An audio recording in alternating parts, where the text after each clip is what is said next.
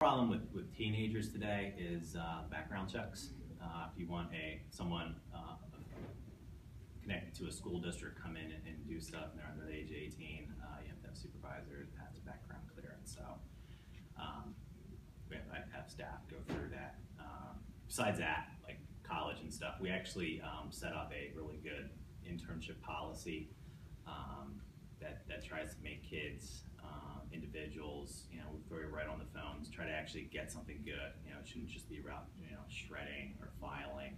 You know, something learned, something substantial. Uh, make sure you show up on time, um, properly dressed, um, professional attitude, um, how to deal with irate people.